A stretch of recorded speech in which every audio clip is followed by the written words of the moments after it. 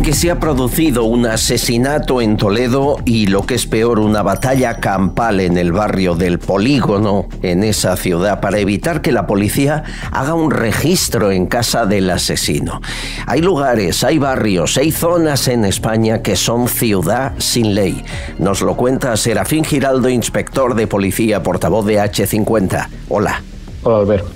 Creo que tenemos que analizar lo que está pasando en Toledo porque realmente es muy grave.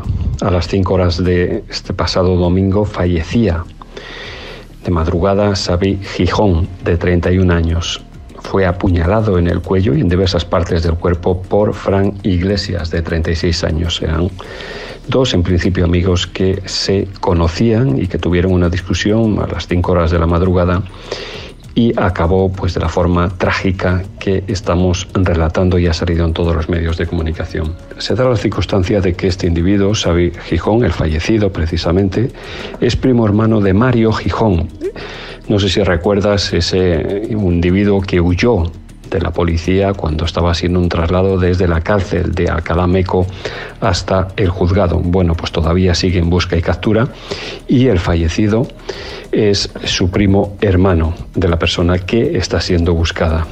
Se realizó un registro y todos vimos las imágenes en los principales telediarios. La verdad es que casi hubo un linchamiento, unas 100 personas con piedras, objetos, todo tipo de amenazas, lanzaron de todo a los antidisturbios que trataban de proteger ese registro en la casa del presunto, bueno, del asesino, para tratar de encontrar el arma. ¿Qué está pasando en este barrio? Este barrio, en 15 del 11 del 2022, fue apuñalado un menor de 17 años.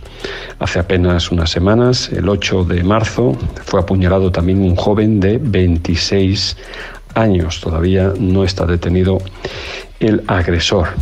Mario Gijón también es de esa zona y de hecho se le está buscando en esa zona.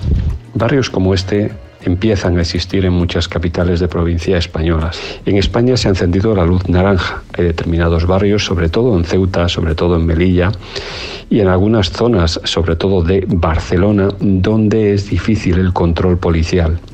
España tiene luz naranja. Todavía no se ha encendido evidentemente la luz roja como en países latinoamericanos o incluso en algunas ciudades como París. Pero realmente la situación empieza a ser alarmante. La policía no puede ser recibida a pedradas. El desarrollo de la justicia tiene que darse en todos los rincones de España.